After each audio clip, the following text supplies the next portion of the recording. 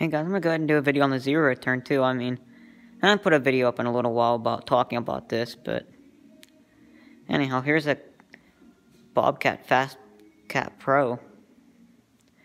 Pretty nice zero turn. It's got a Kawasaki in it.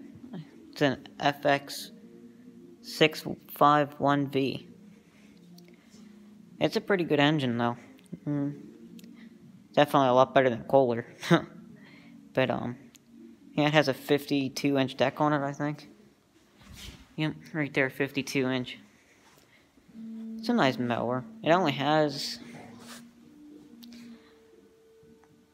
145.5 hours on it. I think we got this in 2015, I think, is what, whenever the heck we got it. I can't remember. But, um, yeah, the only thing it really does need is a spring, and it does need a new belt, but I'm not going to replace the belt. But, I mean, it's a pretty good mower for sure.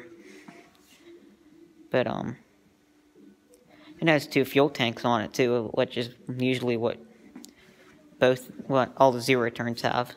As you can see, you can switch it back here to either the right hand or the left hand tank. It's on, it's on the left hand tank now.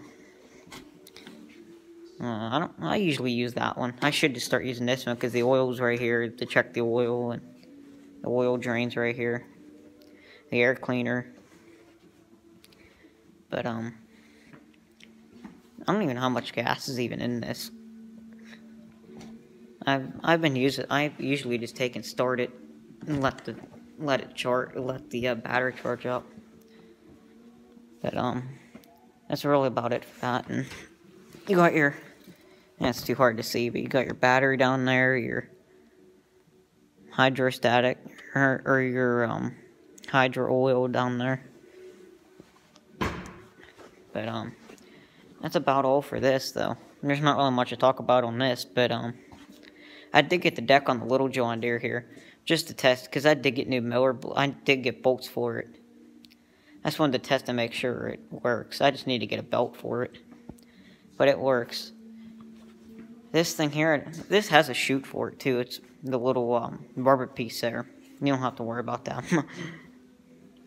they get in the road all the time. They always fall down or you smack them off something. But, um, yeah, that's about all for this thing. Like I said, I, I, know it still has the shroud cover. I know it still has the belt fully covers and stuff on it. I never really take them off. I just never take it off. I probably should, but I just don't want to lose them. But, um, yeah, I just don't want to lose them, so. I still have a bunch of parts to uh, order for this, the John Deere there, and I just need to order a belt for the L, little LT166. And that's about all I'm going to do for that. And I got to change the oil in this yet, too. I'm going to wait till closer to mowing season and do it. Which I know probably next month, or maybe at least next month, I'm going to start ordering parts for everything. For the Kubota over there and that, and that this thing here just needs an oil change in that spring. I have a spring, but I don't know if it'll work or not. But I'll find out, I guess. But yeah, at least you can you can access the belts and everything right here. Which what I think I find stupid on this, because this is a well-built machine, but there ain't no grease fittings for these. It's not like those where the heck the grease fitting is on there. This thing doesn't have very many grease fittings for being a well-built machine for sure. Yeah. Well. In case any of you guys are wondering what's going on with the Oliver, because I know some of you guys are probably going to ask. I had just went ahead and decided to start putting it back together. I'm not even going to worry about spending money to put bearings and stuff in. I'm just going to order an oil pan gasket and put fresh oil in it and, and just run it. And hopefully that rattling noise either A goes away or I don't know what's causing it. So I just went ahead and put the air cleaner back on the valve cover. Hooked the preheat back up. I just need to put the blow-by tube back on. And I just got to get a gasket for this and put it back on. I did clean the oil pan all up too. It's nice and clean now.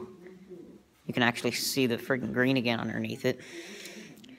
But this is really pretty much ready to go. I just got to put the hood, the side panels, hook all that back up, hook the batteries back up. I did change the the um, transmission fluid in it. And um, that's about all for that. Once I get this thing running, I'll do a video, well, probably a cold start video and a video of running it, doing something, or who knows what. But, um, like I said, that's about it for this video because there's not much, really much to talk about on this. So, I mean, I, we really haven't had much trouble with it at all. I think the worst thing we had to was a belt break. I mean, that was about all. But I think that's about all for this video. So don't forget to comment, rate, and subscribe.